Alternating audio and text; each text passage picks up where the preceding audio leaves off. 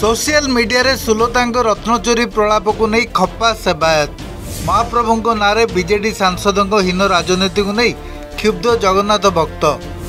ଶ୍ରୀ ଜଗନ୍ନାଥଙ୍କ ମୁଖ୍ୟ ବାଡ଼ଗ୍ରାହୀ କହିଲେ ବିଜେଡି ନେତ୍ରୀଙ୍କ ଇଏ ପିଲାଳିଆମି ବିଜେପିର ପ୍ରଶ୍ନ ରତ୍ନ ଗଣତି ପୂର୍ବରୁ କାହିଁକି ଛାନିଆ ବିଜେଡି ନେତ୍ରୀ? ଯୋଉ ଗାଡିରେ ଏଟିଏମ୍ ଟଙ୍କା ଯାଏ ଯୋଉ ଗାଡିଏ ଗାଡିରେ ବିଭିସି ଏଟିଏମ୍ ଟଙ୍କା ଯାଏ ସେ ଗାଡି କି ସୁନା କେମିତି ଆସିଲା? ରୂପା କେମିତି ଆସିଲା ଆଜ୍ଞା? କେମିତି ଆସିଲା? ସେ ଗାଡିର ସେ କମ୍ପାନୀ ମଧ୍ୟ ସେ ଗୋଟେ ଗୁଜୁରାଟିର। ସିଏ ମଧ୍ୟ ଗୁଜୁରାଟିର। ମୁଁ ସେଇଆ କହୁଛି। ଏଠୁ ସୁନା ବମ୍ବେ ହେଇ ଗୁଜୁରାଟ ଯାଉଥିଲା। ଏହି ଜଗନ୍ନାଥଙ୍କର ଅଳଙ୍କାର ଯାହା ମୁଁ କହୁଛି ସମସ୍ତ ଓଡିଶାବାସୀ ମଧ୍ୟ ଭାବୁଛନ୍ତି। ତାଙ୍କ ମନରେ ବି ଆଜି ପ୍ରଶ୍ନ ଅଛି ଆପଣ କରିଛନ୍ତି ଏମିତି। ଲଗାତାର ଦୁଇ ଦିନ ହେଲା ସୋସିଆଲ ମିଡିଆ ଲାଇଭ୍ରେ ରତ୍ନ ଭଣ୍ଡାରକୁ ନେଇ ଏହିପରି ମନ୍ତବ୍ୟମାନ ଦେଉଛନ୍ତି ବିଜେଡି ସାଂସଦ ସୁଲତା ଦେଓ। ଆଉ କହୁଛନ୍ତି ସରକାର ସ୍ପଷ୍ଟ କରନ୍ତୁ ବିମାନ ବନ୍ଦରରେ ଜବତ ସୁନା ଅଳଙ୍କାର ରତ୍ନ ଭଣ୍ଡାରର କି ନାହିଁ। ଯେତେବେଳେ କି ସିଟି ଆଣ୍ଡ ଜିଏସ୍ଟି ବିଭାଗ ସ୍ପଷ୍ଟ କରିସାରିଛି ମୁମ୍ବାଇରୁ ଆସିଥିଲା ଏହି ଜବତ ସୁନା ଓ ରୂପା। ସୁନା ଆଣିଥିବା ଭୁବନେଶ୍ୱର ବ୍ୟବସାୟୀମାନେ ଓଜନ କମ୍ ଦେଖାଇ ଟ୍ୟାକ୍ସ ଫାଙ୍ଗୁଥିଲେ ବୋଲି ସେମାନଙ୍କୁ ଜୋରିମାନା ମଧ୍ୟ ଆଦାୟ କରାଯିବାକୁ ନିର୍ଦ୍ଦେଶ ଦିଆସରିଛି। ଏପରି ସ୍ଥିତିରେ ସୁଲତାଙ୍କୁ ଆଉ କିଭଳି ସ୍ପଷ୍ଟୀକରଣ ଦରକାର? ବିଜେଡି ସାଂସଦ କାହିଁକି କରୁଛନ୍ତି ଏପରି ପ୍ରଳାପ? ସେ କ'ଣ ଦର୍ଶାଇବାକୁ ଚାହୁଁଛନ୍ତି? ବିଜେପିର ଅଭିଯୋଗ ବିଜେଡି ସରକାର ବିରୋଧରେ ଲାଗିଥିବା ରତ୍ନ ଲୁଟ୍ର ଅଭିଯୋଗ ଘୋଡ଼ାଇବାକୁ ଏହା ସୁଲତାଙ୍କ ପ୍ରୟାସ। ଠାକୁର ଘରେ କିଏ ନା ମୁଁ କଦଳୀ ଖାଇନି ନ୍ୟାୟରେ ସୁଲତା ଦେଓ ସୋସିଆଲ ମିଡିଆରେ ଲାଇଭ୍ କରୁଛନ୍ତି ବୋଲି ଅଭିଯୋଗ କରିଛି ବିଜେପି।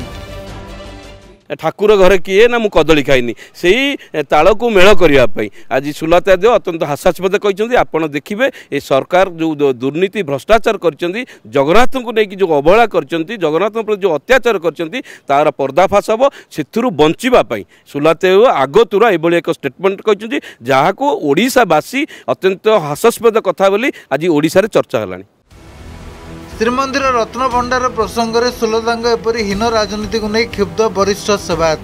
ଶ୍ରୀମନ୍ଦିର ପରିଚାଳନା କମିଟି ସଦସ୍ୟ ତଥା ପ୍ରତ୍ୟାରୀ ନିଯୋଗ ସମ୍ପାଦକ ମାଧବ ମହାପାତ୍ର କହିଛନ୍ତି ରତ୍ନ ଭଣ୍ଡାର ନିକଟରେ ଚବିଶ ଘଣ୍ଟା ସୁରକ୍ଷା କର୍ମୀ ମୁତୟନ ଅଛନ୍ତି। ଏଥିସହ ସିସିଟିଭି ବଳୟ ମଧ୍ୟରେ ଅସ୍ଥାୟୀ ରତ୍ନ ଭଣ୍ଡାର ରହିଛି। ତେଣୁ ମହାପ୍ରଭୁଙ୍କ ନାଁରେ ରାଜନୀତି ବନ୍ଦ କରିବାକୁ ତାଗିଦ କରିଛନ୍ତି ବରିଷ୍ଠ ସେବାୟତ। ଚବିଶ ଘଣ୍ଟା କାଳ ଆମେ ସେଇଟାକୁ ସିସିଟିଭି ନଜରରେ ରହିଛି। ତାର ମଧ୍ୟ ସିସିଟିଭିର ଗୋଟେ ଆମର ସେଣ୍ଟର ଆମର କରାହେଇଛି କଣ୍ଟ୍ରୋଲ ରୁମ୍ କରାହେଇଛି ତାକୁ ମଧ୍ୟ ପୋଲିସ ତାକୁ ତଦାରଖ କରୁଛି। ତାପରେ ଆମର ଟ୍ରାଡିସନାଲ ଆପ୍ରୋଚରେ ଯେପରି ଭାବରେ ପ୍ରତିହାରୀମାନେ ମୃତୟନ ହୁଅନ୍ତି ସେହିପରି ଭାବରେ ଆଠ ଗୋଟି ପ୍ରତିହାରୀ ଅହରାତ୍ର ଅହରାତ୍ର ତାଙ୍କର ସେ ସେବା ପ୍ରଦାନ କରୁଛନ୍ତି। ତାହେଲେ ଏଙ୍କ ପାଖରେ କିଛି ଉତ୍ତି ନାହିଁ ନା? ଇଏ ତ ସେଇଆ କହିବେ ଯେ ବର୍ତ୍ତମାନ ଲୁଟି ହେଇଗଲା ପଳେଇଲା। କେମିତି ଲୁଟି ହେବ? ତାର ତ ପ୍ରଶାସନ ଅଛନ୍ତି ଜିଲ୍ଲା ପ୍ରଶାସନ ଶ୍ରୀମନ୍ଦିର ପ୍ରଶାସନ ପ୍ରତ୍ୟାରୀ ନିଯୋଗ JTP locker room CCTV camera ୟା ଭିତରୁ ସୁନା ପଳେଇଲା ନା ନା ଯେଉଁ ଗୋଟେ ଓଡ଼ିଆରେ ଅଛି ଆଜ୍ଞା ଗୋଦରିଲ ତ ଗୋଡ଼ୁ ଗନା ଯେ ଚୋର କହୁଛି ଚୋର ପଳେଇଲା ଯେ ଏଙ୍କର ଲାଇଫ୍ ଟାଇମ୍ ଚୋର ଇଏ। ସେହିପରି ବିଜେଡି ସାଂସଦଙ୍କ ଏପରି ଟିପ୍ପଣୀକୁ ହାସ୍ୟାସ୍ପଦ କହିବା ସହ ଏହା ସୁଲତାଙ୍କ ପିଲାଳିଆମି ବୋଲି କହିଛନ୍ତି ମହାପ୍ରଭୁ ଶ୍ରୀ ଜଗନ୍ନାଥଙ୍କ ମୁଖ୍ୟ ବାଡ଼ଗ୍ରାହୀ ଜଗନ୍ନାଥ ସ୍ୱାଇଁ ମହାପାତ୍ର। ରାଜ୍ୟସଭା ସଦସ୍ୟ ଏସବୁ ଜିନିଷ କହିକିରି ଅଛି ବାଜେ କଥା କହି ଲାଭ କିଛି ଅଛି।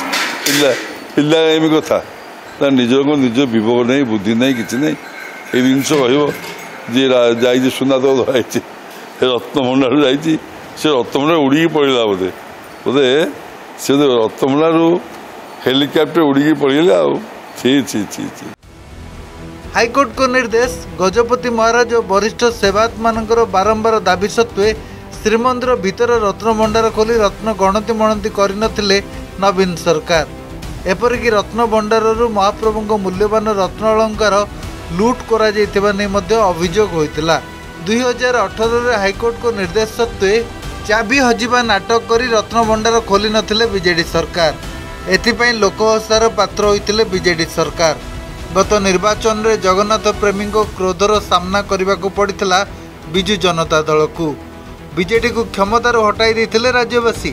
ତେଣୁ ରତ୍ନଭଣ୍ଡାରରୁ ଯେଉଁ କଳଙ୍କ ମୁଣ୍ଡାଇଛି ବିଜେଡି ସେଥିରୁ ନଜର ହଟାଇ ରାଜ୍ୟବାସୀଙ୍କୁ ଭ୍ରମିତ କରିବା ଲାଗି ଏହି ସୁଲତାଙ୍କ ଏହା ସୁଚିନ୍ତିତ ପ୍ରୟାସ ବୋଲି ଅଭିଯୋଗ ହୋଇଛି। पुरी आलोक आशुतोष को सब भुवनेश्वर संतोष जेना रिपोर्ट और गस न्यूज़